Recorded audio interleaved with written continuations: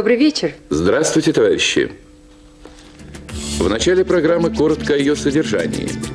Достигнута договоренность о сроках официального визита товарища Горбачева в Китайскую Народную Республику. Визит начнется в середине мая. Первый промысловый рейс готовится совершить новый рыбоконсервный завод, изготовленный в Финляндии. Навстречу выборам рассказываем о кандидате в народные депутаты СССР. Завершается вывод подразделений советской армии из Афганистана. Как воспитывают детей в американских семьях? Репортаж нашего специального корреспондента. Новый год по лунному календарю. Зарисовка, присланная из Сингапура. Итак, информация, репортажи, комментарии. Первый в нашей стране плавучий крабо-рыбоконсервный завод Содружества, построенный по заказу Советского Союза в Финляндии, пополнил флот Дальнего Востока. У причалов Владивостокского порта суда таких размеров еще не швартовались. У этого гиганта от киля до клотика 13 палуб. Цехах, оснащенных самой современной техникой, установлено оборудование, не имеющее аналогов в мире. Тут использованы технологии, позволяющие исключить полностью такой тяжелый ручной труд, как рыборазделка. Это судно совершенно новое, автоматизировано, примерно в среднем где-то на 80% все под автоматикой. Ну, таких судов, как Содружество, не только у нас нет, и за границей вообще в мире нет. Сколько видов продукции вы можете выпускать? Крабы мы можем выпускать 50 тысяч банок. Сайры там, ну, любой рыбы можем выпускать 300-400 тысяч банок. Это в месяц? Это в день. Краба-рыбоконсервный завод Содружества можно с полным правом назвать плавучим городом. На судне для экипажа, а он насчитывает 520 человек, имеются все условия для работы и отдыха. Вот такие одноместные, двухместные каюты, э, плавательный бассейн, спортзал с тренажерами и сауной, парикмахерская. Свой первый промысловый рейс новый плавучий завод совершит в Охотское и Берингово моря. Сколько нужно времени, чтобы построить дом? Как видите, совсем немного. Ведь это всего-навсего лишь макет, скажете вы. Вот если бы так в жизни на строительной площадке, там-то ведь пока совсем по-другому. Но не спешите с выводами. Представьте, что жилые дома могут сходить с конвейера. Точнее, гостиная, спальня, прихожая, кухня, подсобные помещения в блоках. Их словно штампует специальная машина, разработанная конструкторами объединения совместно со специалистами проектного института Госстроя СССР. Ну а как сделать дома не похожими друг на друга? Избежать архитектурного однообразия. Новая технология предусматривает и это. Стоит только сменить оснастку, причем сделать это можно без остановки производства. Практически все работы, вплоть до внутренней отделки, установки санузлов, отопления, ведутся в заводских условиях, что называется под крышей. А значит, бесперебойный цикл и зимой, и летом, и от погодных условий никак не зависит. Только монтаж под открытым небом, но времени на это, как видите, много не уходит. Тем более, что блоки эти весят меньше обычных, сделаны они из облегченного и в то же время особо прочного керамзита бетона. Примерно каждую неделю в этом заводском поселке вырастает новый дом. Только в этом году их будет построено более 40. На мой взгляд, пора дать людям э, настоящий комфорт в жилище, качество, э, удобство. Поэтому я сторонник такой категорический сторонник перехода на так называемую низкоэтажную высокоплотную застройку. Сейчас разрабатываются новые дома, трех-четырехэтажные для городской застройки. Э, вот перед нами, скажем, макет такого дома. Это двухквартирный дом в двух уровнях. Здесь вы видите использована э, объемная комната, использована для того, чтобы улучшить архитектуру, как говорят, пластику. Э, этого здания. Э, квартира со всеми удобствами, великолепная комната, 2,8 высоты и 20 э, метров площади. Такой дом мы можем возвести за двое суток. А И вообще, такой метод строительства позволит в два раза сократить строительство жилья против панельного и в три раза, а то и в четыре раза против строительства кирпичных домов. Сейчас начато строительство нового производства по выпуску индивидуальных домов на промышленной основе. Это даст возможность обеспечить каждого работника объединения отдельной квартирой к 1995 году. Бензин или природный газ? Предпочтительней, конечно, газ. В этом уже давно убедились автолюбители во многих странах мира. Посмотрите репортаж из Белоруссии. Серийный выпуск таких агрегатов для перевода малолитражек на природный газ первым в нашей стране освоил Новогрудский завод газовой аппаратуры. Система проста, но надежна. Размешается в багажнике и под капотом, и на ходу автомобиля позволяет перейти с бензина на голубое топливо и наоборот. Заполнив тем и другим бак и баллон, можно смело отправляться в тысячекилометровое путешествие. Новинка вместе с ее установкой стоит около 600 рублей. Окупается она за первые два года эксплуатации. Это, так сказать, материальные выгоды. Заметим, что использование газа в качестве горючего для автомобилей поможет оздоровить экологическую обстановку. Выпуск новогрудки за год 60 тысяч таких комплектов – важный шаг в этом направлении. Но их производство пока сдерживается. Причина хорошо известна – отсталость нашего автосервиса, нехватка заправочных станций и центров, где можно было бы смонтировать аппаратуру. Началась реконструкция канала имени Москвы. С завершением его строительства 52 года назад появилось понятие «Москва. Порт Пяти морей». Но это не только транспортная система, но и артерия, снабжающая город водой. Оборудование, хотя и было сделано добротно, свой гарантийный полувековой срок отработало. Сам канал – это как бы лестница из шлюзов, которые начинаются удобны и заканчиваются здесь, где мы снимаем репортаж в московском районе Щукина восьмым шлюзом. Происходит завершающий этап по замене металлоконструкции двухстворчатых ворот. Это впервые в нашей стране меняются такие крупные ворота новым прогрессивным способом. Вес какой этих ворот? Масса этих новых ворот около 200 тонн. И вот представьте, по старой технологии на их замену не хватило бы не только зимнего периода, но и навигацию пришлось бы сократить в лучшем случае на месяц. А это очень большие народно-хозяйственные убытки. Поэтому секции были смонтированы здесь на эстакаде, оставалось их только опустить. Но не было у нас такой грузоподъемности крана. И вот в Австрии по нашему заказу и был э, специально создан речной вариант, и рука этого богатыря осиливает тяжесть 350 тонн. Машинисту в кабине помогает электроника. Вся операция по замене ворот заняла один день. А сколько на канале еще вам заменять ворот? Да, это вот первые ворота практически, которые мы меняем с помощью этого мощного крана. Таких ворот еще остается 15. Конструкция их более совершенна, и заменять их уже придется где-то в середине 21 века.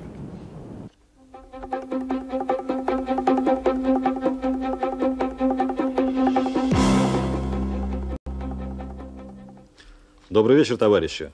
Я хотел бы начать сегодняшний обзор международных событий репортажем из Афганистана, где готовится к возвращению на родину последние подразделения советских воинов. Мы хорошо представляем себе, с каким нетерпением ждут на родине подробных сообщений о завершающем этапе возвращения домой наших солдат. Сложнейшая боевая операция, какой является вывод войск, развивалась и развивается по четким планам, графиком, в полном соответствии с замыслом командования. Войска движутся к советской границе на западе и востоке Афганистана. Идут днем и ночью. Остановки в пути лишь для заправки техники и отдыха механиков-водителей. Афганские дороги никогда не были для них легкими. Шальные пули, мины. Впрочем, теперь все меркнет по сравнению со знанием, что это, наконец-то, дороги к дому – и совсем уже скоро для всех. Вот на этой схеме нанесена главная дорога, по которой возвращаются сейчас на родину советские боевые части. От Кабула до Хератона на афгано-советской границе. Товарищ генерал, вы отвечаете за э, перевозки по дороге. И вы знаете, я обратил внимание, что навстречу нашим боевым частям идут и большие транспортные колонны с различными грузами. Чем это объясняется? Дело в том, что советским правительством было принято новое постановление о дополнительных поставках безвозмездной материальной помощи Республике Афганистан. Естественно, были поставлены соответствующие задачи по перевозке народохозяйственных грузов, в первую очередь муки, зерна, других продуктов Афганистану. Поэтому вот эти вот все колонны, они... Это вот они обозначены да, здесь да, да. у вас. Двигаются. Да. Двигаются на Кабул. Остается совсем немного времени до 15 февраля. Э, Реально ли выполнить такие большие задачи? И вывод войск, и переброска крупного э, партии продовольствия? Значит, нам, в общем-то, удалось спланировать. Но и в план также входит то, что мы, допустим, будем передавать транспорт весь, прямо груженный с этим продовольствием в Кабуле. Определены, каким организациям передавать это продовольствие и транспорт. А личный состав этих колонн, водители, вот, начальники колонн будут отправлены самолетами на территорию СССР. То есть задача будет к 15 февраля выполнена? Так точно. Задача в обязательном порядке будет выполнена. А сейчас я познакомлю вас с видеосюжетами, которые мы получили от зарубежных телекомпаний. В Парагвае приведен к присяге новый временный президент страны, дивизионный генерал Андрес Родригес. Он возглавил военный переворот против диктатора Стресснера. В состав нового парагвайского правительства вошли семь гражданских лиц и два генерала. Новый президент заявил, что его правительство полностью контролирует положение в стране. Тысячи жителей столицы Парагвая Асунсиона и других городов страны вышли на улицы, чтобы отпраздновать свержение диктатуры.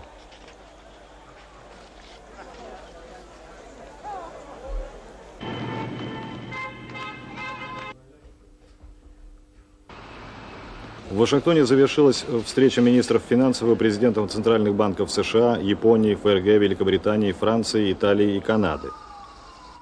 Партнеры Соединенных Штатов выразили Вашингтону тревогу в связи с сохранением огромного дефицита федерального бюджета. На встрече обсуждалась и проблема внешней задолженности развивающихся стран. Однако участники встречи не выработали нового подхода к решению этой острейшей проблемы.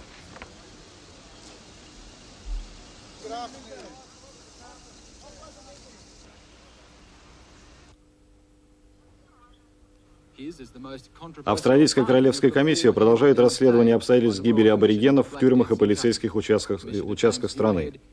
Сейчас на рассмотрении комиссии находится более 100 таких дел. Версии о самоубийствах вызывают большое сомнение у общественности, ведь именно по ее требованию и была созвана эта комиссия.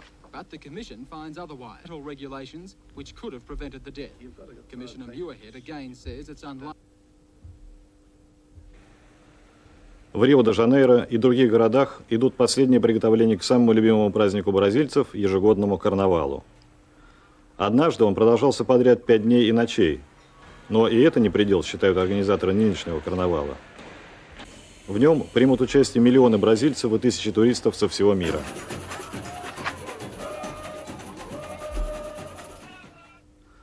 Чему мы учим своих детей? Как приучаем к труду? Как готовим, скажем, к самостоятельной жизни? Вот эти и другие подобные вопросы занимают родителей, наверное, во всех странах. О некоторых особенностях воспитания американских детей рассказывает наш корреспондент, который недавно побывал в Сиэтле. Каждый вечер, в любую погоду, 15-летний Джефф Маллин со своей сестрой разносят по окрестным домам газету «Сиэтл Таймс». Подростки, которые учатся в школе и одновременно работают, в США обычное явление. Причем у большинства таких ребят вполне состоятельные семьи. Родители Джеффа, например, живут в собственном доме едва ли не в самом престижном районе города. Отец – высокооплачиваемый чиновник муниципалитета, неплохо зарабатывает и мать, инструктор дошкольного воспитания. 160 долларов в месяц, которые получает Джефф, чисто символическая сумма в бюджете семьи. И все же Джефф изо дня в день отправляется по привычному маршруту. Что, так нужны карманные деньги – или причина в чем-то ином? Мне нравится испытывать чувство ответственности, говорит он. Мне нравится, что я помогаю родителям платить за мое образование. И кроме того, я ощущаю, что моя работа нужна людям, и это для меня тоже важно. Эта работа досталась Джеффу по наследству от старшей сестры, а скоро перейдет к средней. Пока что она учится у брата, помогая ему, причем Джефф платит ей за это часть своего заработка. Придет время, и разносить газеты станет самая младшая сестра Джеффа. Так что у Малинов-младших своего рода маленький семейный бизнес – а как к этому относятся родители? Все началось с того, рассказывает отец, что наша старшая дочь захотела учиться в частной школе, а это гораздо дороже, чем в государственной. Раз ты настаиваешь, сказали мы ей, тебе придется взять на себя половину расходов на обучение. И она решила разносить газеты. Как видите, Джима Малина, занимающего немалое положение в обществе, ничуть не смущает то, что он поощряет своих детей-школьников подрабатывать по вечерам. Рано или поздно им придется жить самим, принимать массу самостоятельных решений, а для этого они должны понять главное. В жизни все надо зарабатывать своим трудом. За все надо платить. Старшая дочь уже начала самостоятельную жизнь. Она учится в другом городе, а к родителям приехала на каникулы. Скоро и Джефф станет бывать здесь лишь в гостях. А там, глядишь, за ними последуют и младшие сестры. Очень часто дети в Америке рано, задолго до женитьбы или замужества отделяются от родителей. И не потому ли отчасти, что рано сами начинают зарабатывать деньги – Возможно, Джим Маллен с женой однажды пожалеют вот за этим опустевшим столом, что поощряли в детях самостоятельность. Но ведь с другой стороны дети теперь твердо стоят на ногах. Что ж, действительно, в жизни за все надо платить. Сегодня многие города на планете задыхаются от самых разных проблем. Загрязнение воздуха, транспортных пробок, перенаселения. Но если эти проблемы как-то и можно решить, то найти новые площади под строительство весьма сложно – Особенно остро нехватка земли стоит в крупных городах Японии, в Токио, например.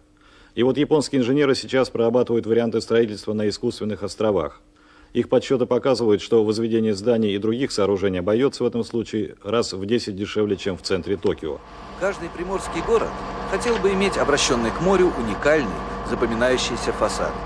Однако береговая линия Токио сейчас – это в основном бесконечные портовые сооружения, от сверхсовременных до явно устаревших, ряды безликих складских зданий. Уже совершенно ясно, что освоение акваторий Токийского залива – это единственный путь развития скученного, перенапряженного центра японской столицы. Существуют сотни проектов, от создания домов кораблей до строительства целых плавучих районов с высотными зданиями. Городские власти Токио видят будущее в развитии уже намытых искусственных островов – Глянем на них с 90-метровой высоты башни морского музея. Здесь будет создан так называемый токийский телепорт. На площади в 448 гектаров разместится по существу новый город, который станет международным деловым центром. Он будет оснащен самыми современными средствами связи со всем миром, новейшими транспортными системами. Люди, которые будут жить и работать здесь в 21 веке, оценят удобную городскую среду и окружающие зеленые массивы. Первая задача – создание сети городских скоростных дорог, которые свяжут острова со столицей. В заливе уже идут большие работы по строительству эстакад и мостов. Планы грандиозные, но реальные. Об этом говорит ход работ над другими проектами, ближе к побережью, где новые кварталы – уже обретают свои очертания. В ночь с 5 на 6 февраля по восточному лунному календарю наступает Новый год. И, как к любому празднику, готовиться к нему начинают заранее. О том, как это происходит в Сингапуре, рассказывает наш следующий репортаж. По традиции, до наступления праздника надо расплатиться с долгами, сделать генеральную уборку в доме, украсить его. На базаре, чем-то напоминающим наш елочный базар, покупается мандариновое деревце – его плоды символизируют здоровье и достаток. Здесь же веточки вербы, распустившиеся вишни. Они напоминают о скором приходе весны, начале нового этапа в жизни. Китайские фонарики – еще одна неотъемлемая часть праздника. В их изготовлении местные умельцы достигли высокого мастерства. Некоторые фонари представляют собой целые композиции, сцены из классических произведений. В праздничном убранстве все имеет свой смысл, свое значение – Карп, например, это символ долголетия. Парные четные изображения мандаринов, птиц и рыб – это знак семейного счастья. Один из главных участников праздника – дракон. Он символизирует могущество, удачу, гармонию и благополучие. Поэтому дракон – непременный участник подобных праздников, а не только символ уходящего года. Ну и, конечно, на празднике присутствует змея. Ведь именно год змеи наступает в ночь с 5 на 6 февраля. В эти минуты в студии Центрального телевидения идет видеозапись советско-французской программы «Телескоп-шоу».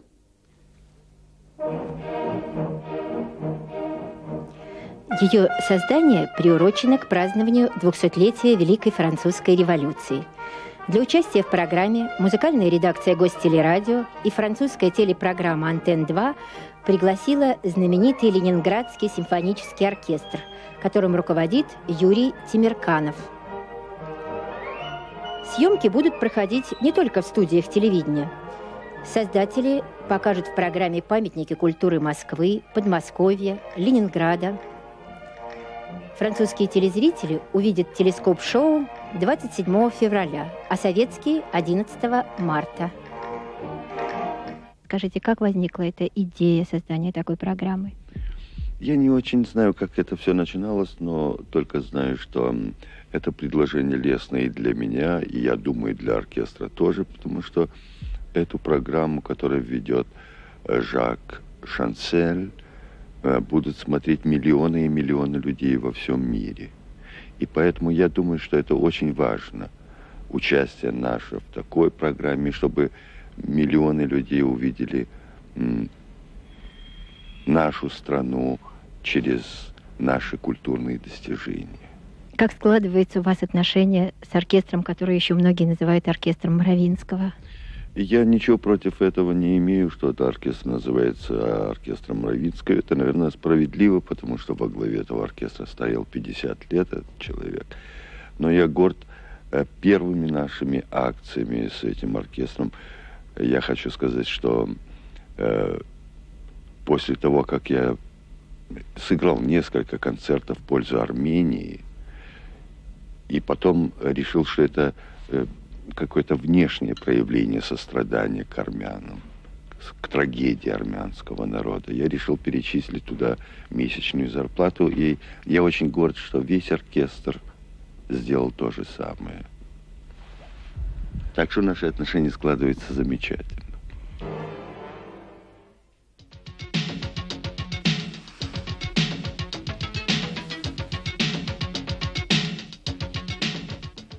Здравствуйте, товарищи. Очевидно, начавшийся новый олимпийский цикл будет выдвигать и новых лидеров в различных видах спорта. Без сомнения, в прыжках шестом вместе с Сергеем Бубкой на ведущей позиции прочно вышел Родион Гатаулин. Выступая в Гомеле на зимнем чемпионате страны, серебряный призер Олимпийских игр установил новый мировой рекорд для закрытых помещений – 6 метров 2 сантиметра. Гатаулин превысил свое же достижение, установленное 22 января этого года в Ленинграде. На этих же соревнованиях не устоял рекорд СССР в ходьбе на 5 километров. Его побил москвич Михаил Щенников – 18 минут 15 и 91 сотая секунды.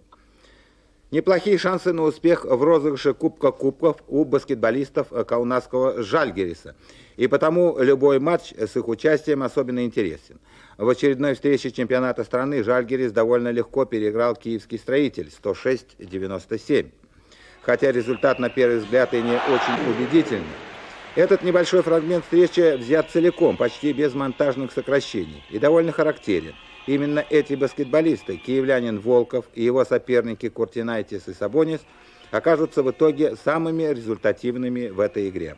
Ну а когда окончательный исход поединка уже не представлял ни для кого секрета, игроки Жальгериса решили доставить и себе, и зрителям максимум удовольствия.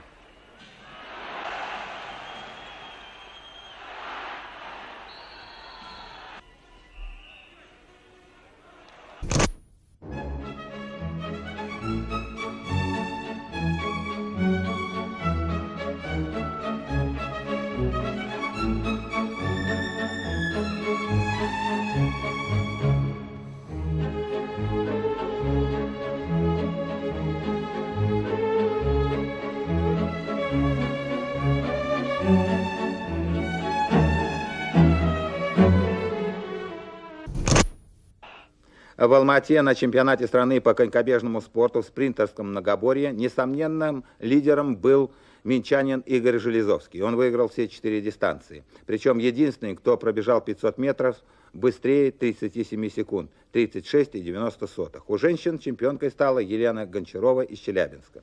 В заключительный день лыжных соревнований в Бакуриане прошли гонки в розыгрыше Кубка СССР. У мужчин на дистанции 15 километров лучшее время показал алматинец Владимир Смирнов, а у женщин 10-километровую дистанцию выиграла Раиса Сметанина. Они возглавили сборную СССР, которая в середине февраля выступит на чемпионате мира в Лахте. В ничью завершилась четвертая партия матча претендентов на первенство мира по шахматам между Карповым и Хьяртерсоном. Счет стал 3-1 в пользу экс-чемпиона мира. Венгер Портиш выиграл у голландского гроссмейстера Тиммана третью партию такого же матча и ведет в матче со счетом 2-1. В картине Дампеца стартовал чемпионат мира по бобслею. 38 экипажей, двое вступили в борьбу. На каждой трассе фиксируются рекорды скорости, времени. И, очевидно, необходимы определенные условия, чтобы эти рекорды пали. Видимо, все предусмотрели швейцарцы Ведер и Гербер. Они промчались так быстро, что побили все рекорды и, естественно, стали лидерами после двух заездов. 77 сотых проигрывают ему им Кипурс и Интлерс, советские спортсмены.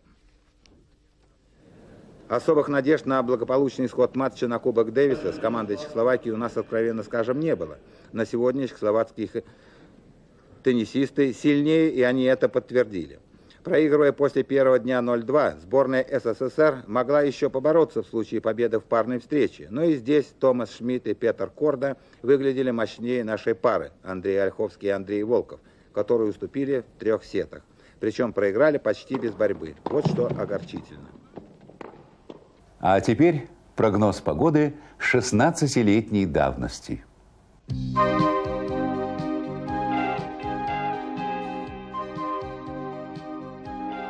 По сведениям Гидрометцентра СССР, завтра, 5 февраля, в Эстонии, Латвии и Литве дождь от 1 до 7 градусов тепла. В Белоруссии плюс 1,6, На Украине и в Молдавии плюс 2,8 градусов, в Крыму до 12.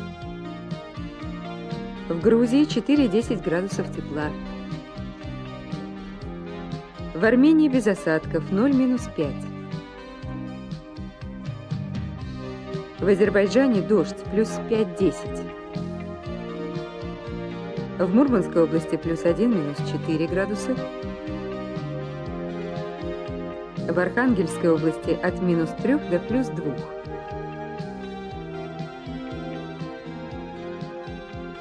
В Ленинграде 1-3 градуса тепла. Обычно только в очень суровые морозные зимы звери и птицы стараются быть поближе к человеку. Они чувствительны к добру и, оказавшись в беде, надеются на нашу помощь, ищут у людей защиты. Многих поразило на днях сообщение из Ленинграда о том, что в пригородах была замечена рысь. Видимо, и на ее поведение как-то повлияла нынешняя, необычно теплая, неустоявшаяся зима. Всего около 25 тысяч осталось в природе этих северных лесных красавиц, обычно очень осторожных и никогда не идущих на контакт с человеком. А вот подмосковные энтузиасты, звероводы из совхоза Салтыковские решили серьезно заняться разведением рыси в неволе. И кое-каких успехов, несмотря на массу трудностей, уже достигли. Сегодня в вольерах хорошо перезимовали 15 необыкновенно симпатичных северных рысей. Ну а на дворе уже властвует капризный февраль, и все светлее каждый его день – Приближается природа к весеннему равноденствию. Ведь в феврале зима с весной встречается впервой, гласит народная поговорка. А к концу месяца ее приметы будут особенно ощутимы. Уже значительно прибавится день, увеличится оттепели и снежные метели. Да и они будут все чаще и чаще сменяться мокрым снегом и по-весеннему солнечными, как сегодня, днями. Завтра в Москве и Подмосковье облачно. Температура ночью 0 плюс 2, днем 3-5 градусов тепла, ветер западный.